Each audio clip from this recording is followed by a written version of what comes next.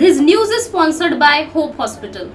महाराष्ट्र राज्य पुलिस दल में जल्द ही बड़े बदलाव होने वाले हैं इसमें पुलिस अधीक्षक यानी एसपी और पुलिस उपायुक्त यानी डीसीपी रैंक के पंचानवे अधिकारी का तबादला किया जाएगा नागपुर शहर की बात करें तो नागपुर ग्रामीण के पुलिस अधीक्षक Rakesh Ola anti corruption bureau के एसपी रश्मि नांदेड़कर, नागपुर जोन पाँच के डीसीपी निलोत्पल जोन दो के डीसीपी विनीता साहू जोन चार के DCP doctor Akshay Shinde DCP SD Ahwad और ईओयू डीसीपी विठल मसाड़ी इनके तबादले होने जा रहे हैं। खास बात यह है कि जिला अधीक्षक पद के लिए नागपुर शहर के ही कुछ अधिकारियों के नाम पर चर्चा हो रही है।